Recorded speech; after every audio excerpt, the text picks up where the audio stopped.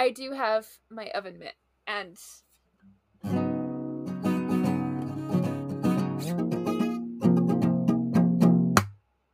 yeah, so um that's that's a thing that can happen. Oh my gosh. Thank you for the sub, Muddy.